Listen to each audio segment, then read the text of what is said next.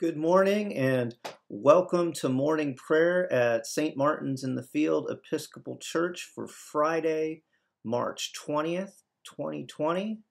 Um, I am so glad you're here.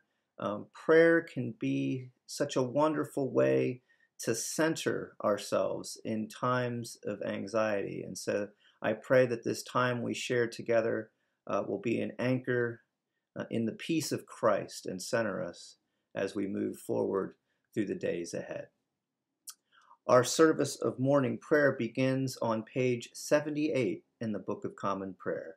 Page 78 in the Book of Common Prayer. Grace to you and peace from God our Father and the Lord Jesus Christ. Let us confess our sins against God and our neighbor.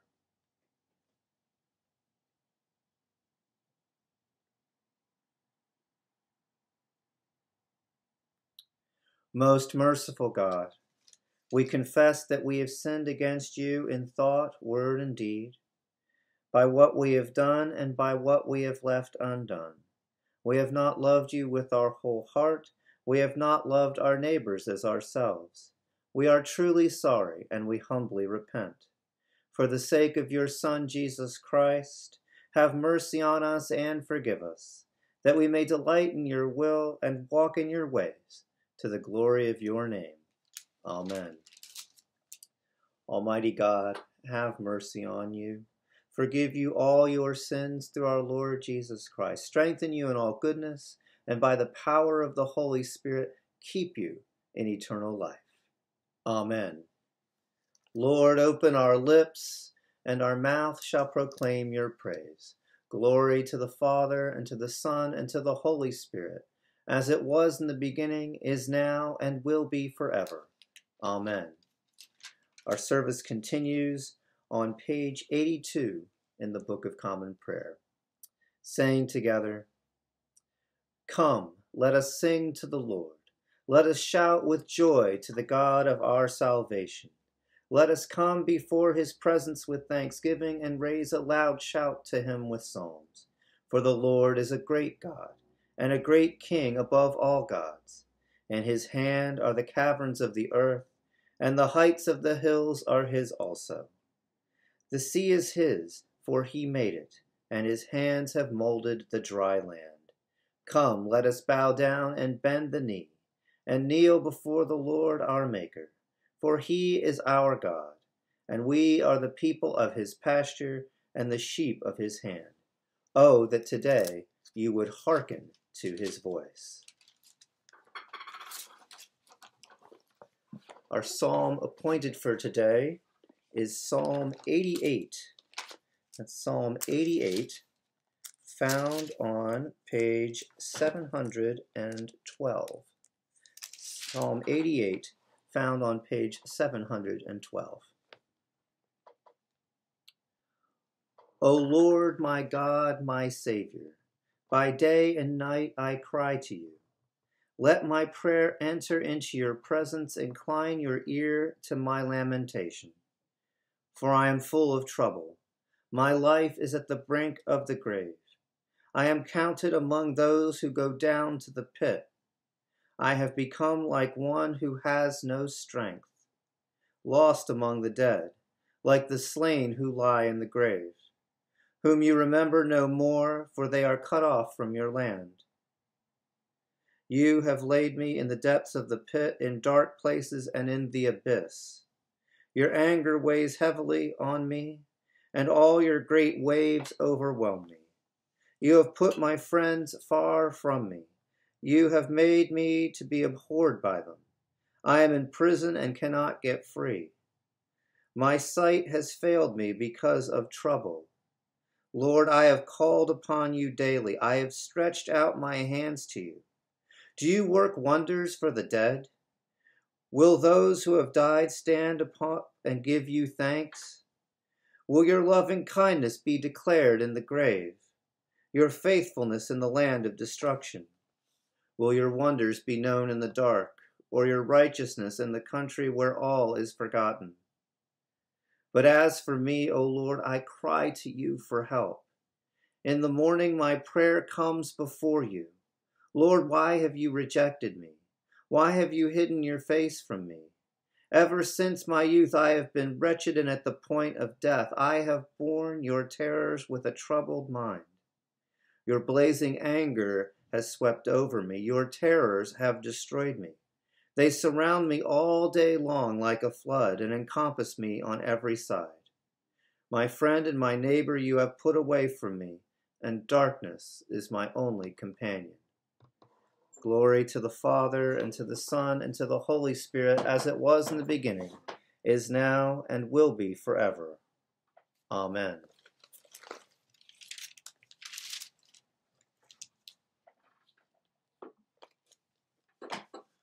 A reading from the book of Genesis.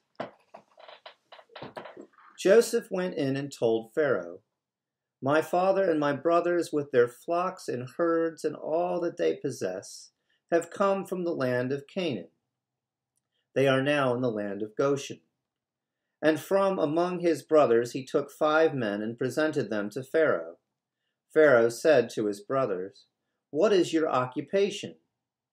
And they said to Pharaoh, your servants are shepherds, as our fathers were. They said to Pharaoh, We have come to sojourn in your land, for there is no pasture for your servants' flocks, for the famine is severe in the land of Canaan.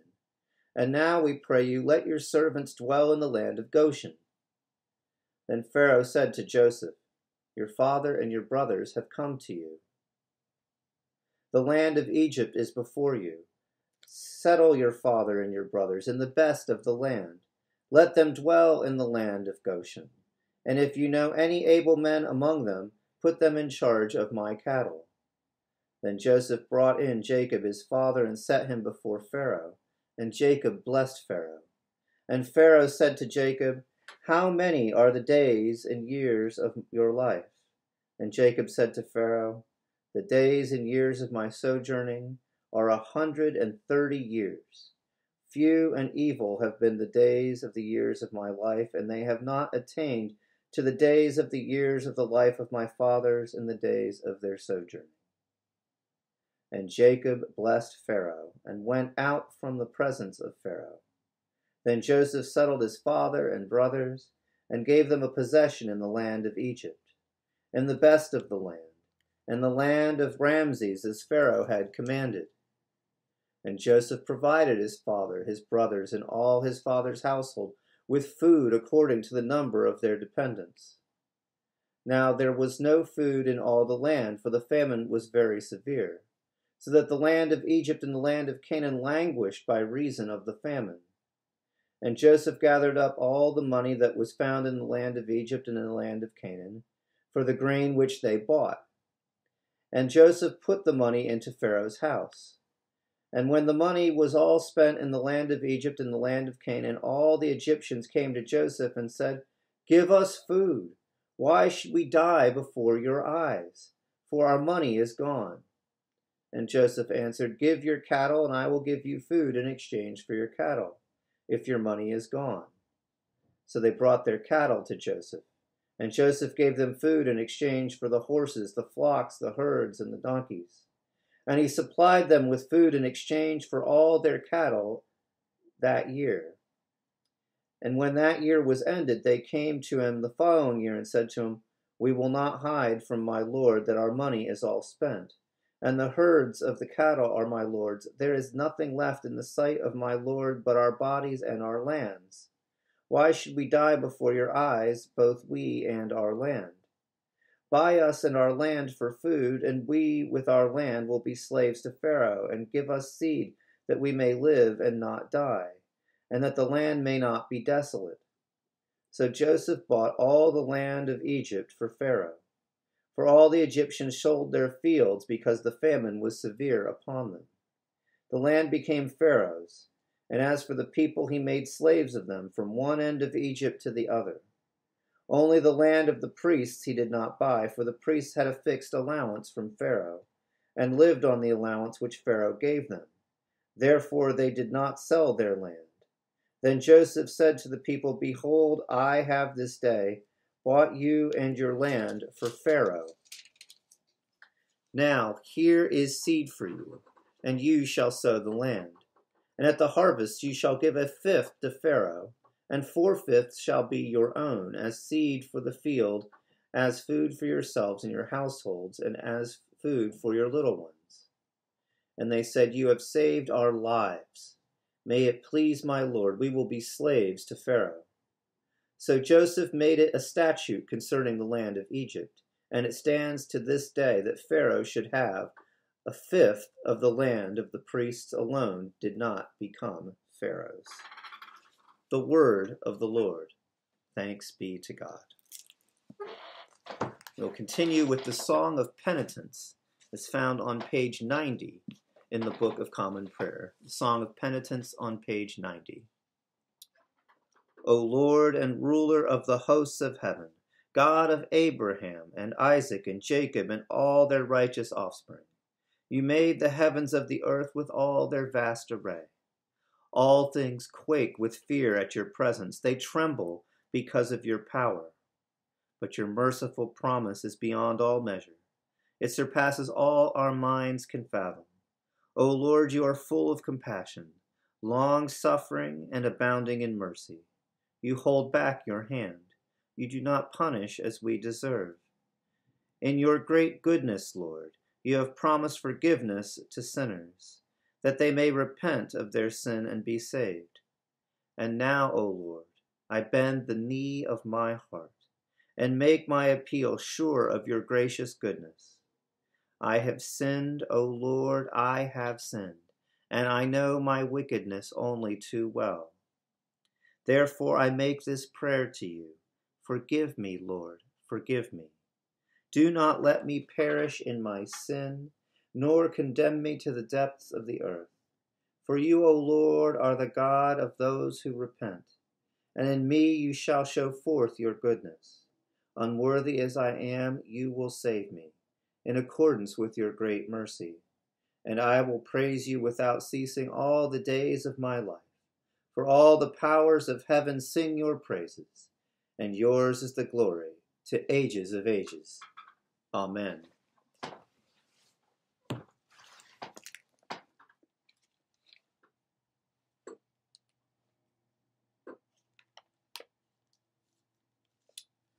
A reading from the Gospel according to Mark. When evening came, the boat was out on the sea, and Jesus was alone on the land. And he saw that they were making headway painfully, for the wind was against them. And about the fourth watch of the night he came to them walking on the sea. He meant to pass them by, but they saw him walking on the sea, and they thought that it was a ghost and cried out, for they all saw him and were terrified. But immediately he spoke to them and said, Take heart, take heart. It is I. Have no fear. And he got into the boat with them and the wind ceased. And they were utterly astounded, for they did not understand about the loaves, but their hearts were hardened. And when they had crossed over, they came to land at Gennesaret, and moored at the shore.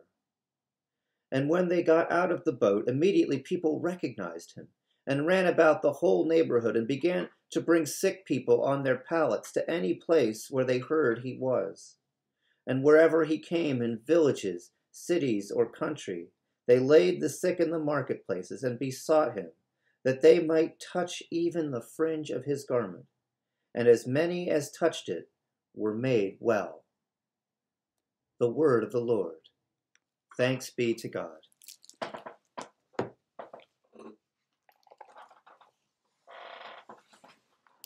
continue on page 93 in the Book of Common Prayer with a song to the Lamb.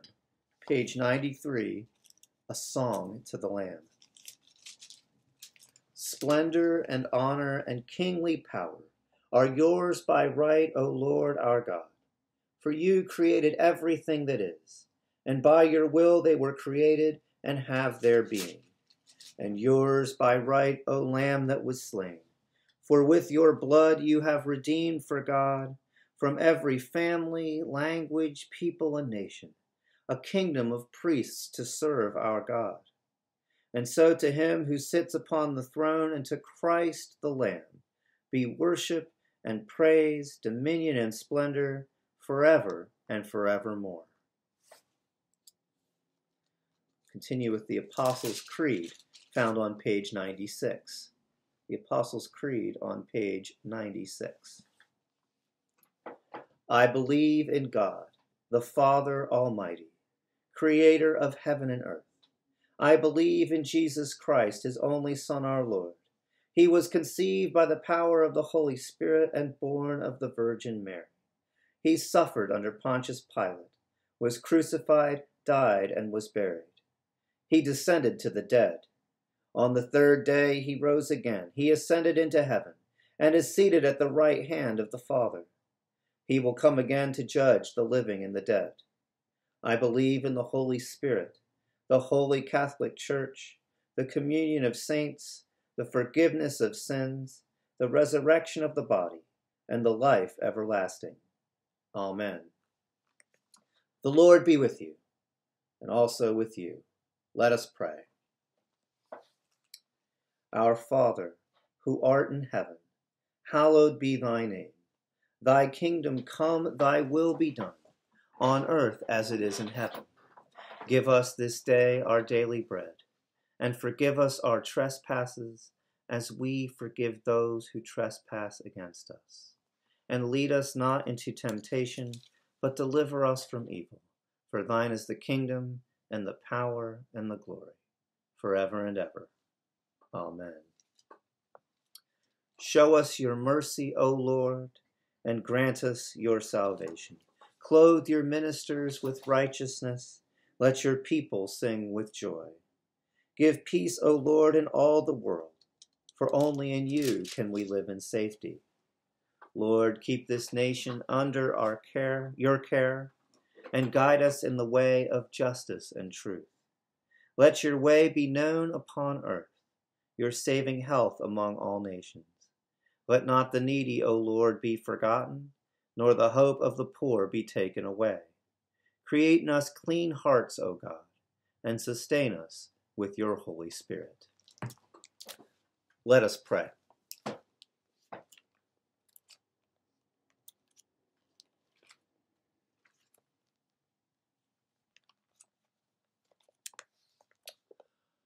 Almighty God, you know that we have no power in ourselves to help ourselves. Keep us both outwardly in our bodies and inwardly in our souls, that we may be defended from all adversities that may happen to the body, and from all evil thoughts which may assault and hurt the soul. Through Jesus Christ our Lord, who lives and reigns with you in the Holy Spirit, one God, forever and ever. Amen. Almighty God, whose most dear Son went not up to joy, but first he suffered pain, and entered not into glory before he was crucified, mercifully grant that we, walking in the way of the cross, may find it none other than the way of life and peace. Through Jesus Christ, your Son, our Lord. Amen. Lord God, Almighty and everlasting Father, you have brought us in safety to this new day. Preserve us with your mighty power, that we may not fall into sin nor be overcome by adversity. And in all we do, direct us to the fulfilling of your purpose, through Jesus Christ our Lord. Amen. Lord Jesus Christ, you stretched out your arms of love on the hard wood of the cross, that everyone might come within the reach of his saving embrace.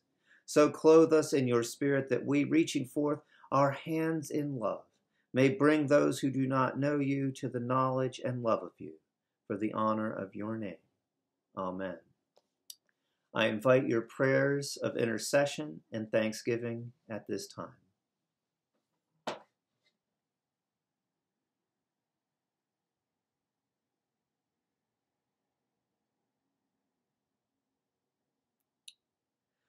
Oh God, I pray for all those impacted in any way by the coronavirus. I pray for those who are sick, those who are anxious, those who are afraid, those who are worried, those who are feeling the economic impact. I pray, O oh God, that you will bring healing and wholeness and stillness and peace.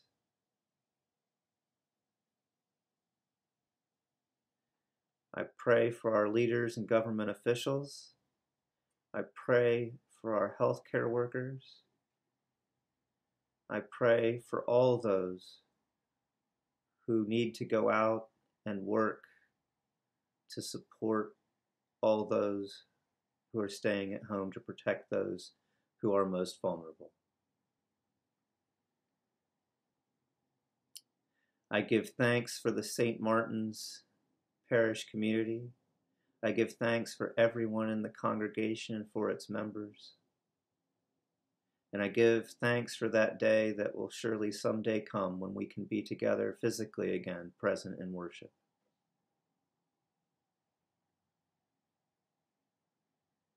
Lord, in your mercy, hear our prayer. Continue with the general thanksgiving on page 101 in the Book of Common Prayer. Almighty God, Father of all mercies, we, your unworthy servants, give you humble thanks for all your goodness and loving kindness to us and to all whom you have made. We bless you for our creation, preservation, and all the blessings of this life, but above all for your immeasurable love and the redemption of the world by our Lord Jesus Christ, for the means of grace and for the hope of glory. And we pray, Give us such an awareness of your mercies that with truly thankful hearts we may show forth your praise not only with your lips but in our lives, by giving up ourselves to your service, and by walking before you in holiness and righteousness all our days. Through Jesus Christ our Lord, to whom with you and the Holy Spirit be honor and glory throughout all ages. Amen. Let us bless the Lord. Thanks be to God the grace of our Lord Jesus Christ and the love of God and the fellowship of the Holy Spirit be with us all evermore. Amen.